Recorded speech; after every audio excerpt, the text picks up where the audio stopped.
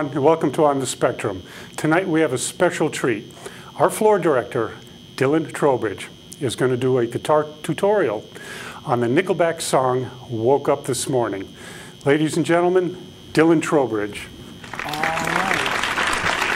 So let's start with tuning. Um, what we're gonna tuning wise is we're gonna keep the guitar in standard E A D G B E, but we're have to drop our low E string down two full steps to a C note. So either match the the 10th fret of the D or the third fret of the A string more likely.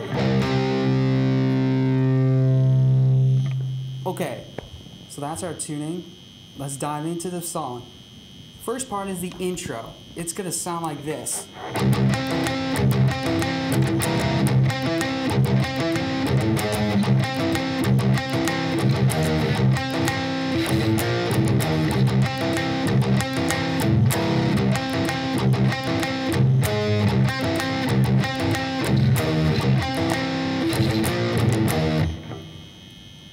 Let's go through that.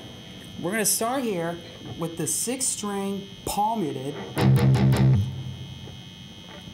but we're gonna hold, our, we're gonna put our pinky on the 10th fret of the D, and our index finger is gonna be on the 7th fret of the A string. So the dynamics here are gonna be sixth string twice palm muted, then we're gonna go hit the D string, then the fifth string, back to the D string. So it goes six string twice, D, A, D. You do that twice.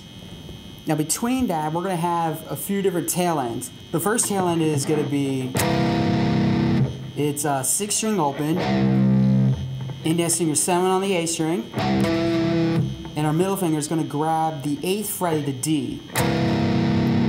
You get kind of that muddy sound that's on the recording. Okay. Now the second tail end is going to be this cool octave shape. Is index finger's eighth fret on the low E, and our pinky is going to grab the the eleventh fret of the A string. So the key thing in this is to get skip. Um, is just keep this three fret gap in between. Okay, the next, the third one is it's that same shape down to the third fret of low E and the sixth fret of the A. Go, okay, so it's like this.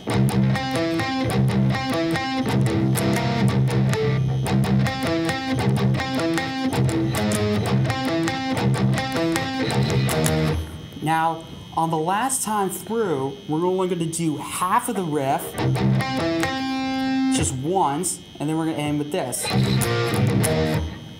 So that is six string palmated twice. Then we're going to grab a B flat power chord on the first fret of the A string, third fret of the D, and pinky on the third fret of the G. Hit it once, and then six string twice again, and then come to that third fret octave on the low E string just hit it once. So together it's like slowly.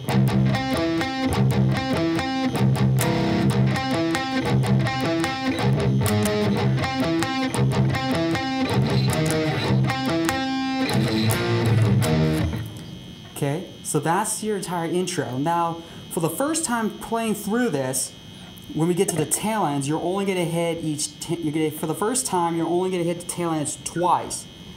For the other times you're going to do this, you're only going to hit the tail ends once. So you just keep that in mind when you're uh, playing along with it. So E together sounds like this.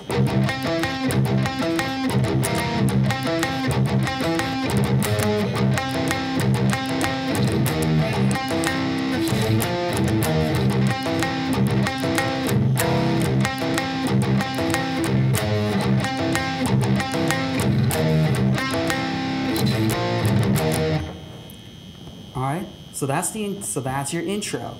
Now we're in to the verse. The verse is pretty similar, but we're gonna have a kind of we're gonna end it a little bit differently. So.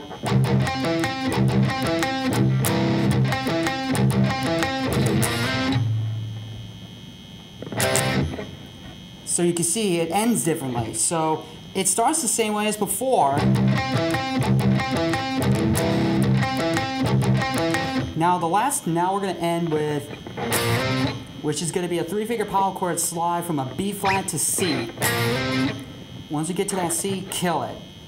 And then after a couple beats, hit the C power chord twice, but with the low E string open. Pretty short verse, so altogether it's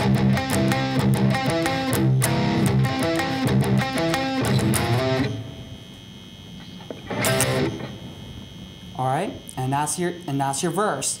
Now we get to the pre-chorus. So there's two parts of the pre-chorus here. Let me play the entire thing so you can see how it sounds.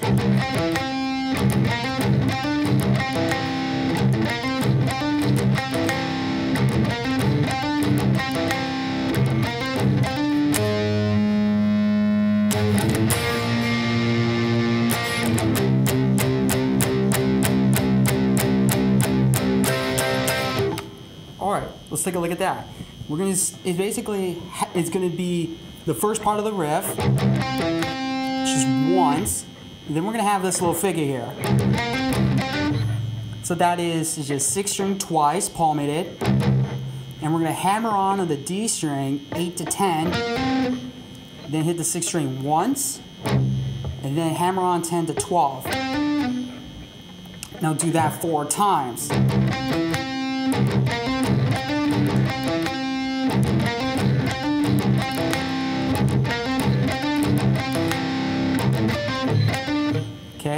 Now this is going to be the, the second part of the pre-chorus is the build-up. It's going to be just whole notes.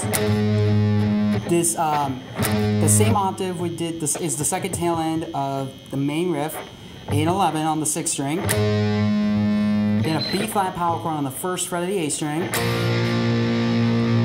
Now we're going to move that same power chord up two frets, but we're going to palmate it for four bars, chug it on it. So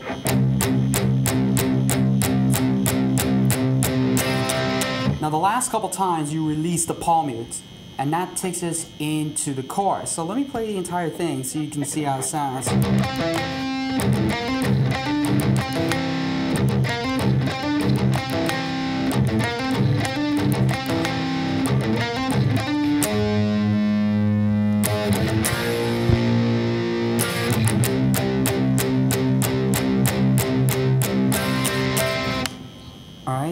Takes us into the chorus.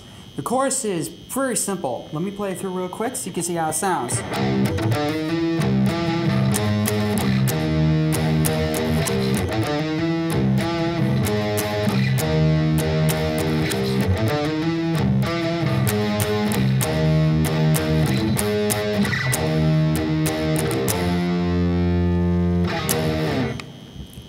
Let's take a look at that.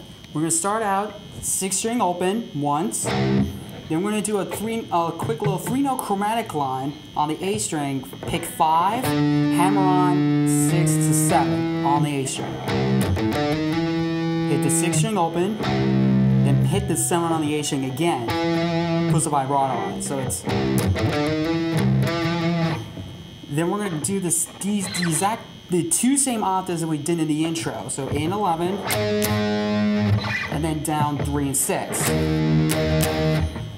Now do that twice.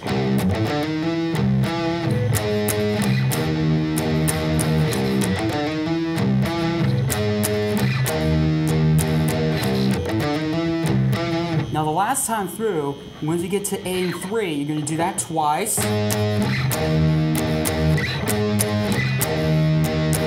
Now you're to end on the 5 on the low E and 8 on the A string. Whole note. Come back to the third fret, hit it and slide down. So the, the entire chorus is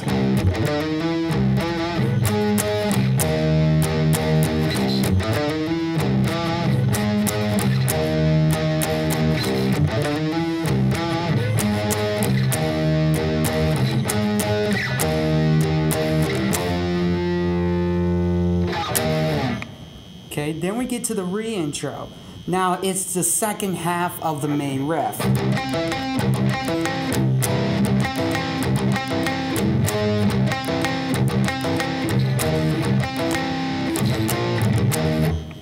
All right, then you go through the verse, pre-chorus, and chorus. Then you do the re-intro, then we come to the solo. The solo is very cool. It's gonna let me play the entire thing so you can see how it sounds.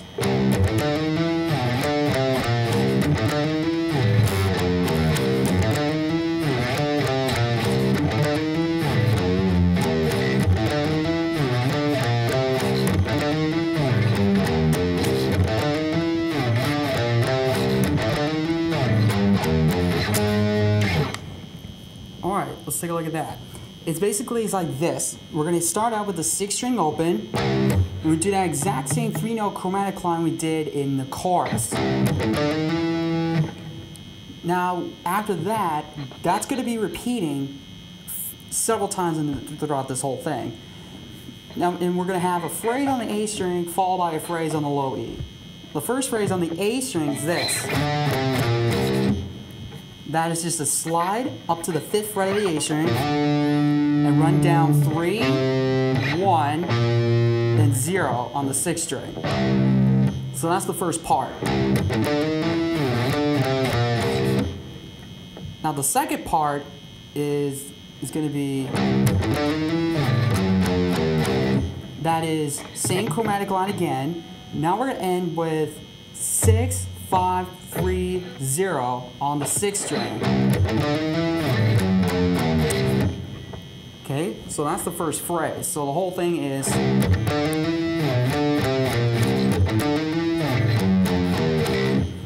Now the second phrase starts the same way. Now we're gonna end the the second tail end on the low E is gonna be a little bit different. Instead of going, we're gonna end by doing a. That is just a quick bend and release on the sixth string fifth fret, then three and zero on the low E. So it's.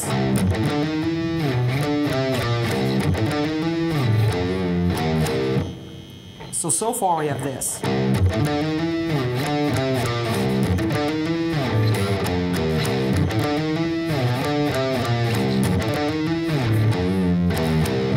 Okay, now the last phrase, you're to repeat it twice.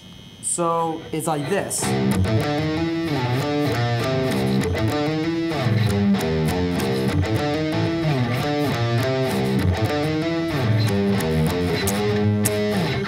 All right, so what that is, you start that exact same chromatic line again. Then you're gonna slide up to the fifth fret of the A string. Now come down to the first fret of the A string, and then three on the A string, and hit the sixth string open. So it's same chromatic line again. Now we're gonna end with this. And we're gonna have some stretches here. We're gonna have our pinky on the sixth string seventh fret, and I have my index finger behind it because that's the next note. So we're gonna go seven, down to three, then five on the low E, then zero. You just repeat that twice. Okay,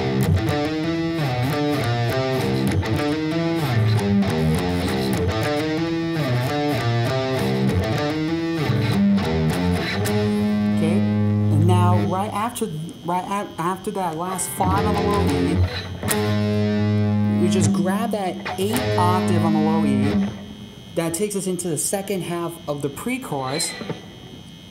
After that, you go through the chorus, and then you're gonna end the song with the re-intro once, and then just hold on, on and you're gonna end on an open C power chord. That is six string open, fifth string, third fret, and five on the D and G. All right, so that's pretty much the entire song. So, so one of the key tricks when I learned this is that um, I developed a little bit of technique to get my pinky involved, especially especially in some of these octave shapes. So, so I, I would say recommend getting getting used to your pinky when you play along, so you can play along with the song very nicely. So that's pretty much the entire song. So that's pretty much it.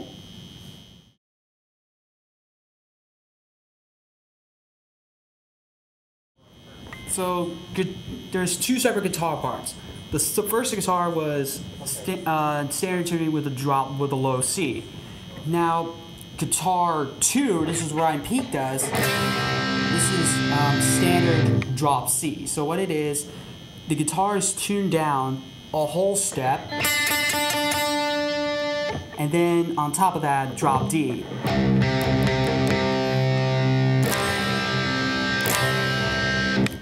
Alright, so for guitar 2, it's going to be pretty much the same parts, but just moved up a whole step. So it's 6 string twice palmated, grab the 4 string 12th fret, 5th string 9th fret,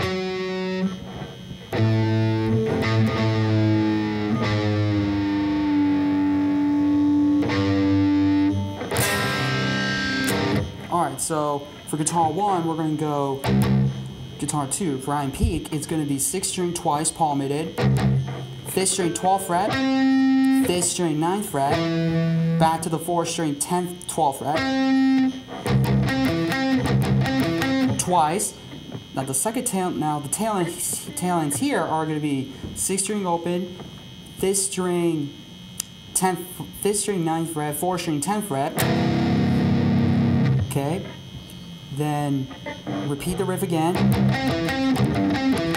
Now the tail ends here on the top three strings, we're gonna bar just the top three strings at the eighth fret, the second one, and then down to the third fret, then a C, C to F5. Okay, so you do that twice.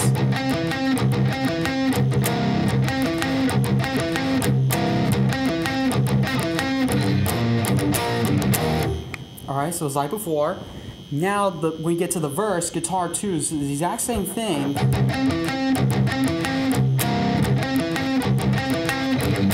Now C to a D power chord slide, then the top three strings, and then open D power chord twice. Now the verse, is, the pre-chorus is, is going to be this. So that is six string twice palmated, same riff. Now hammer on four string 10 to 12. Hammer on 12 to 14 on the four string. Do that twice, three times.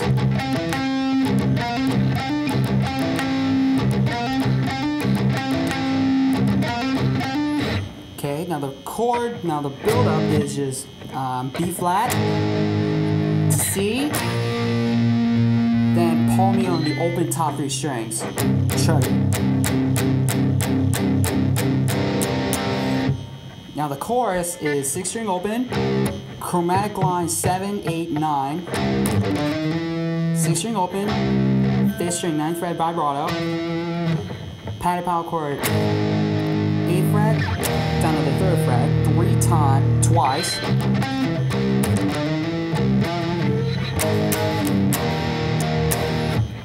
Now the second, the last time you're gonna do, when you're gonna do eight and three twice. Whole note fifth fret. Hit the third fret once, slide down. Then you do the verse, re, uh, re-intro, verse, chorus, re-intro. Now the solo is pretty similar to the chorus, so we're gonna do that. Three note chromatic line on the A string. Now we're gonna slide into seven on the A, run down five to three. Chromatic line again. Then same tail ends on the low E. Chromatic line again. Then seven five three on the A string. Open. Then same bend and release. Then the chromatic line again. Slide to seven. Then three, five on the A string. Open, six string. Chromatic line again. Then seven, 3, five on the low E. Do that twice. Then you go through the pre-chorus again.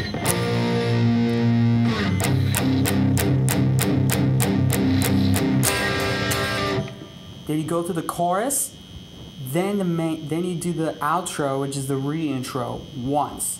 So that's guitar two. So that's pretty much the entire tune. So that's two separate guitar parts. So you get to decide which guitar you want to go with. Uh, Chad Kroeger or Ryan Peake. Uh, a lot of times I see uh, really are uh, Ryan Peake. Um, I figure out all of Chad's parts by ear. So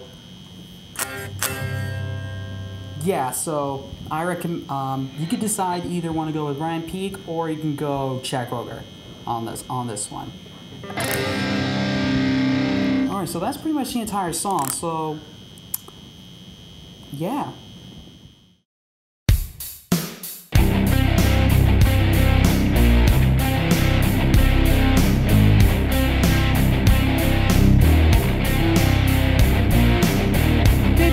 This morning on an early grave ready to say goodbye, left to say Time to turn down not to spend All I wanted